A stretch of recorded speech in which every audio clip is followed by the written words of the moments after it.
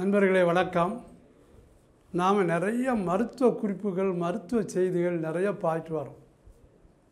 அதில் இன்றைக்கு பார்க்கக்கூடியது இழுப்ப எண்ணெய். இழுப்ப எண்ணெய். எல்லாருக்கும் நல்லெண்ணெய் தேங்காய் எண்ணெய் கடலெண்ணெய் பாம் ஆயில் இதெல்லாம் தெரியும். ஆனால் இழுப்ப எண்ணெய் கேள்விப்பட்டதில்லை. இழுப்பு எண்ணெய் இன்பமே அப்படிங்கிறதுல நம்ம இன்னைக்கு பார்ப்போம். இப்போ இழுப்பு எண்ணெய் கிடைக்குது. முந்திலாம் இழுப்பு எண்ணெய் கிடைக்கிறது ரொம்ப கஷ்டமாக இருக்கும். இப்போ இழுப்பு எண்ணெய் கிடைக்கும் இந்த இழுப்பு எண்ணெயில் என்ன விசேஷம்? அது என்னெல்லாம் மருத்துவ குணங்கள் கொண்டது? எனக்கு தெரிய வீட்டில் இருக்க வேண்டிய ஒரு எண்ணெய். நல்லெண்ணெய் சமையலுக்கு தேங்காய் எண்ணெய் தலைக்கு மேலுக்கு தேய்க்கிற மாதிரி ஒரு மருத்துவ ரீதியாக ஒரு எண்ணெய் வீட்டில் இருக்கணும்னா அது இழுப்ப எண்ணெய். இழுப்பு எண்ணெயில் இனிப்பாக இருக்கும். அந்த மரம் அந்த காய் வந்து இனிப்பாக இருக்கும். அதான் இந்த இல்லாத வீட்டுக்கு இழுப்பப்பூ சக்கரம்பான். அந்த காலத்தில் சர்க்கரைக்கு பதிலாக இழுப்பப்பூ யூஸ் பண்ணியிருக்காங்க அது வாயில் வச்சு உறிஞ்சோம்னா இனிக்கும். இனிப்பாக இருக்கும். அந்த இழுப்ப பட்டை இனிப்பு தோற்பு கசப்பு இது ஒரு மூணு முக்கியமான ஒரு சுவை. அதனுடைய ஒரிஜினாலிட்டி டேஸ்ட் பண்ணால் இனிக்கும். அதற்குள்ளே கசப்பும் துவர்ப்பும் இருக்குது மனிதன் அறுசுவையில் துவர்ப்பு புளிப்பு உப்பு கசப்பு இனிப்பு காரத்தில் துவர்ப்பு கசப்பு எடுப்பதில்லை. ஆனால் இது எடுத்தோம்னா அந்த சுவை கிடச்சிடும் இது வந்து டிக்காச மாதிரி அந்த பட்டையை போட்டு கொஞ்சம் கருப்பி போட்டு சாப்பிட்டோம்னா குடல் சுத்தம் உடம்பில் வீக்கம் சுளுக்கு தோல் அரிக்கிறது சொறி சிரங்கு இதுக்கெல்லாம் நல்லாயிருக்கும். அது மாதிரி வைரக்கட்டைன்னு பேர். அந்த மரத்துக்கு நடுவில் இருக்கிறதா விளைஞ்சிருக்குன்னு சொல்லுவாங்க. அந்த மாதிரி கட்டை. அதை எடுத்து நல்லா கசாயம் போட்டு சாப்பிட்டோம்னா காக்கா ஒழிப்புலாம் கேட்கும் அடுத்து எ இழுப்ப இலை பூ.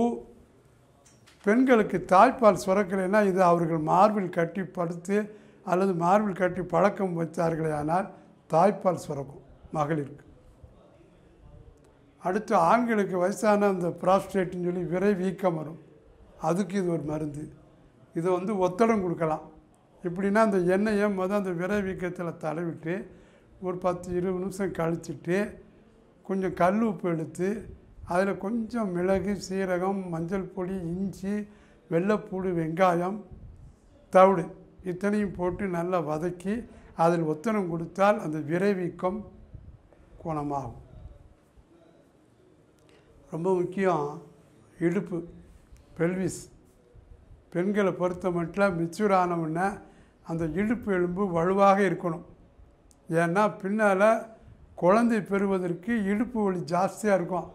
அதனால தான் பிள்ளை பொம்பளை பிள்ளை மெச்சூர் ஆயிடுச்சுன்னா உளுந்தங்களி அதெல்லாம் கொடுத்ததுக்கு காரணம் அந்த இடத்து எண்ணெய் பசை கொண்டு வலுவாக்கணும்னு செஞ்சாங்க. அப்படி இழுப்பு வழியில் இழுப்ப எண்ணெய் மிக அற்புதமாக வேலை செய்யும். அந்த டிஸ்க்கு விலை இருந்தால் கூட திரும்ப ரீப்ளேஸ் ஆகி பழைய ஒரிஜினலுக்கு வந்துடும் அந்த அளவுக்கு இழுப்பு எண்ணெய்க்கு மிகப்பெரிய மருத்துவ குணம் உண்டு. குறிப்பாக இடுப்பு. அதில் உளுந்த மாவு எடுத்து நல்லா பசையாக்கி தடவி உணர விட்டுட்டு அதுக்கு பிறகு இழுப்பு எண்ணெய் வச்சு நல்லா ஒத்தனம் கொடுத்தா காய்ச்சி இழுப்பு எண்ணெய் காய்ச்சி ஒத்த வச்சுக்கணும். அதை வச்சு ஒத்தனம் கொடுக்கணும். இடுப்பு வலி நல்லா கேட்கும். இன்றைக்கு இடுப்பு வலிங்கிறது எத்தனை பேருக்கு உண்டு அத்தனை பேர் இருக்காங்க. அதில் குறிப்பாக தாய்மார்கள் வீட்டில் வேலை செய்பவர்கள் பெண்கள் எல்லாருக்குமே இடுப்பு வலி ஜாஸ்தியாக இருக்குது இது போல் ஆண்கள் இருக்காங்க அவங்க வந்து கம்ப்யூட்டரைஸ்டு சிஸ்டத்தில் உட்காந்துருப்பாங்க மணிக்கணக்கில் இருப்பாங்க எந்திக்க முடியாது. அவர்களுக்கு இந்த பெல்விஸ்லாம் வலிக்கும். அதுக்கு இடுப்பு வலி வரும். ஏன்னா நடக்கிறது இல்லை சிட்டிங் போஸ்டர் அப்படியே உட்காந்துருப்பாங்க அதுக்கெல்லாம் மிக அற்புதமான ஒன்று. அடுத்து எண்ணெய் குளியல். எப்படி தலை முழுவதுமோ அது மாதிரி இழுப்பு எண்ணெய் தேய்ச்சி குளிக்கலாம். சேற்று புண் கேட்கும். வயிற்று எரிச்சல் புளிச்சேப்பம் இதெல்லாம் கேட்கும். அது மாதிரி இதை கொஞ்சம் சாப்பிடலாம் வாயில். இது ஆண்களுக்கு ஆண்மை விருத்தி தாது விருத்தியை உண்டு பண்ணும். டிபி கிருமிகள் அடிக்கும் வைரஸ். டிபி கிருமின்னு இல்லை மலேரியா டிபி இது மாதிரி நிறையா கிருமிகள் அடிக்கும். இதனுடைய புண்ணாக்க புகை போட்டிங்கன்னா விஷச்சந்துகள் மூவ் ஆகாது. எலி புழு கொசு பூரான் தேள் இந்த மாதிரி விஷச்சந்துக்கள் இந்த புகவாடைக்கு வராது. இன்னும் அற்புதமான ஒரு விஷயம் என்னென்னா நிறையா பேர் பணக்கஷ்டம் தொல்லைகள் இனம் தெரியாத கவலைகள் இதெல்லாம் இருக்கும். சாஸ்திர ரீதியாக சொல்லப்படுது இழுப்பு எண்ணெயை வாசலில் பொருத்தணும்னு.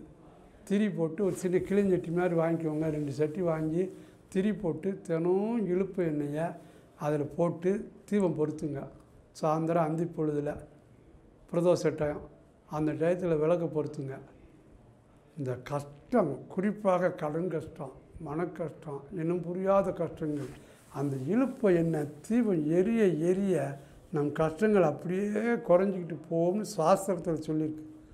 விளக்கு நல்லெண்ணெய் போடலாம் நெய் போடலாம். அவைகளுக்கு ம வேற ஆனால் இதற்கு பலன் என்னென்னா சாஸ்திர ரீதியாக கடன் கஷ்டங்கள் தீரும். இழுப்பெண்ணியை பயன்படுத்துங்கள் வாழ்வில் இன்பமே. என் phone number triple nine four five double seven five double zero மறக்காமல் ஆனந்த வாழ்வில் சேனலை சப்ஸ்கிரைப் பண்ணுங்கள் ஆலோசனைக்கு அணுகலாம்.